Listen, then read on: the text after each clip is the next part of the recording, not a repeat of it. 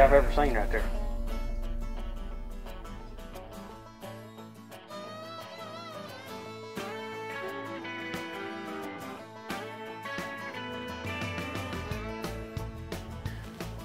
What makes the Four Seasons Ranch such a good place to turkey hunt is the cover. They have a lot of good cover for nesting grounds. They have a lot of good hatches. They have a lot of open areas. Turkeys love open areas. And these turkeys can hide really fast, get away from predators. There's a lot of predator control there as well, and there's low hunting pressure. So this means lots of Rios and lots of Rios that will come to your turkey call. Turkey Hunter is brought to you by Browning, the best there is. Knights Hunting Products, makers of the hands free hunting vest. Legacy Premium Game Calls. It's not luck, it's legacy. Indian Creek Shooting Systems, makers of the Black Diamond Strike. Browning Trail Cameras, the most innovative trail cameras in the industry. Four Seasons Ranch, a world class hunting experience. Strut no more turkey totes. Get a grip on them.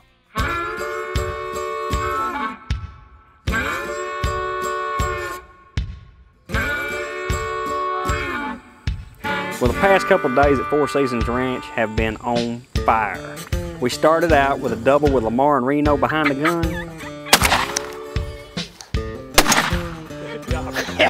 yes. The next day, Seth had a big three-year-old that marched straight down the Sendero to his gun barrel.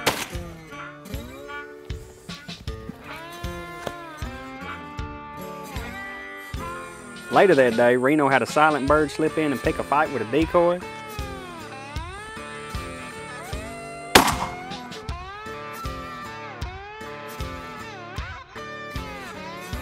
And to finish up a phenomenal day at the Four Seasons Ranch, Lamar had an absolutely beautiful hunt when a three-year-old bird come marching down the Sendero full of beautiful wildflowers.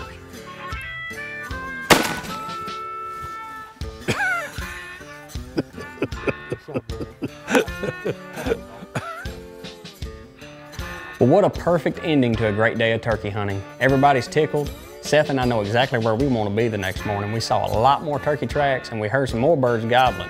So we come back the next morning, I'm running the gun, Seth's behind the camera, but I told him to bring his Browning just in case. I mean, we are at the Four Seasons Ranch and you never know what could happen. We are at Four Seasons Ranch. We're at a new location and we're gonna slip around and get it set up in an area with some low grass and uh, put the decoy out there and do some calling and maybe pull another turkey out of here. They're just everywhere in here. Clouding up.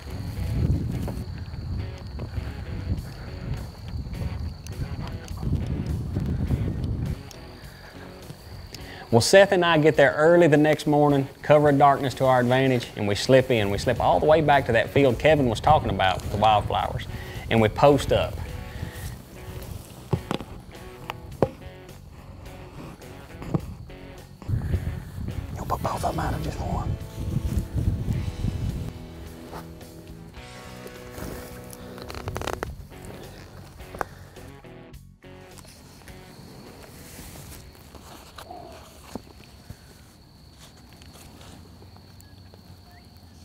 Good looking spot right here. Real flat. Got set up. We know the turkeys are still there because they gobbled when we were at the truck. we know they're there. Quail are everywhere. Isn't that beautiful? Wow. I heard a hen yipping in. This is a pretty place right here. These turkeys are roosted behind us. But there's a road that cuts through the field and they kind of do a U right here. Grass is really low. Looks like a great place. They like to strut and carry on. Beautiful location right here. I got Reno in behind me and Seth running the big camera. We got cameras everywhere. So maybe we'll look out and get a turkey right here. They're in here.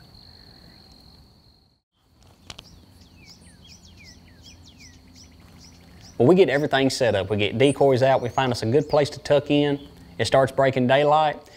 Turkeys start gobbling. Sure enough, they're about 400 yards, but they're just not hot.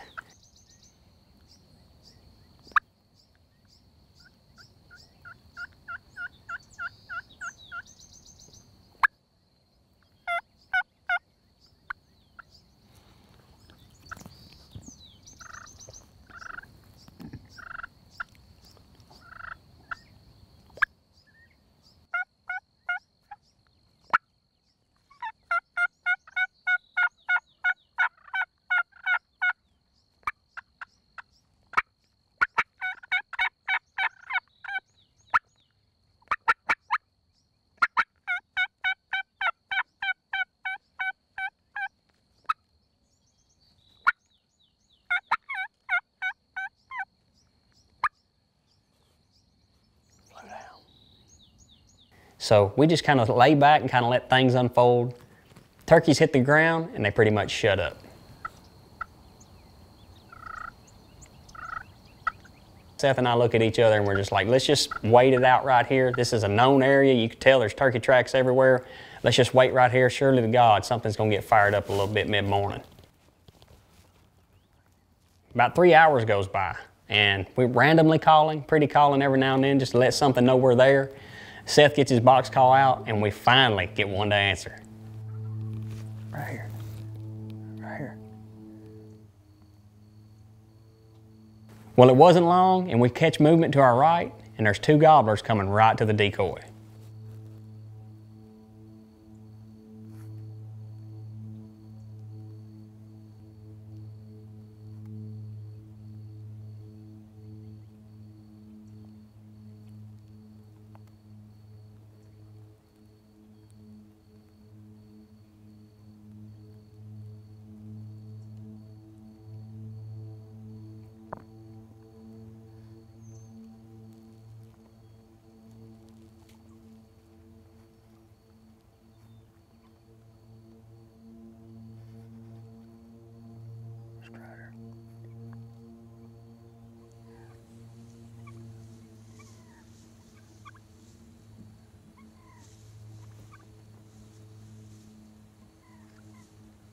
Well, these birds are punch drunk. They go right to the decoy. They do their dance, do their thing. And finally, I get the cue go ahead and shoot the one in the front. Got him. Got him.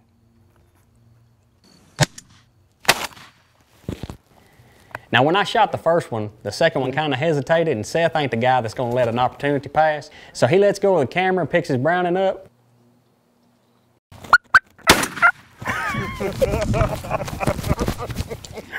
That was awesome, dude.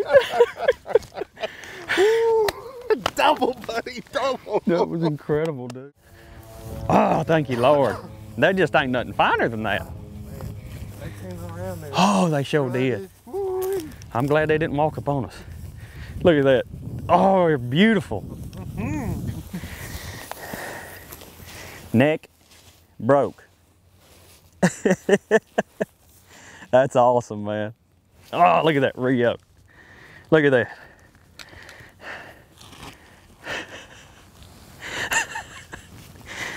Good two-year-olds, actors, actors, brother. Like a couple acting Look at that.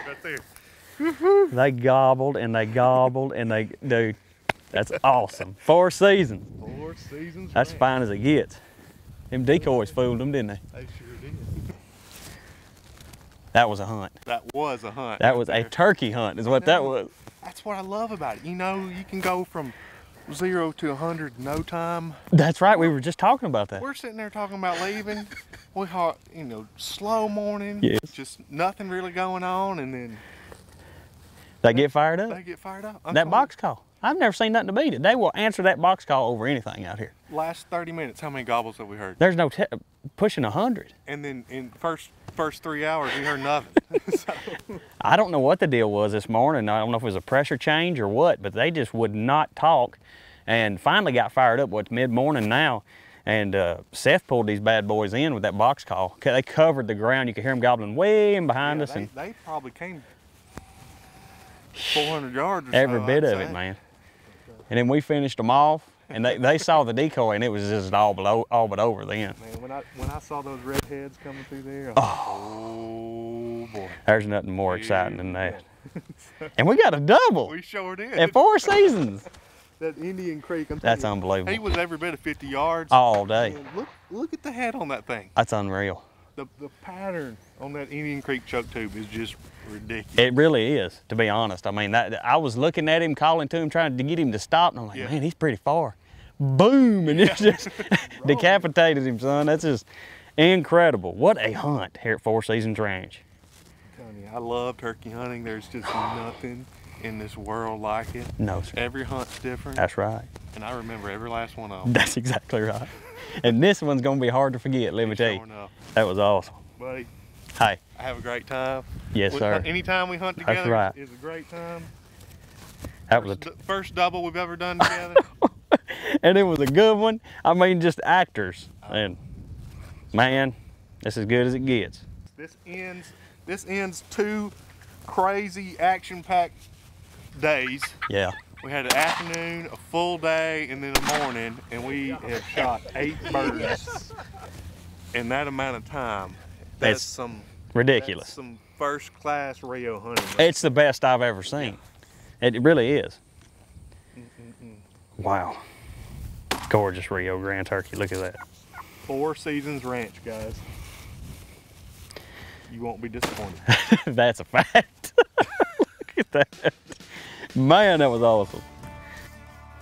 Two days, eight birds. That's what hunting these Rios is all about. Four Seasons Ranch, there's just nothing finer.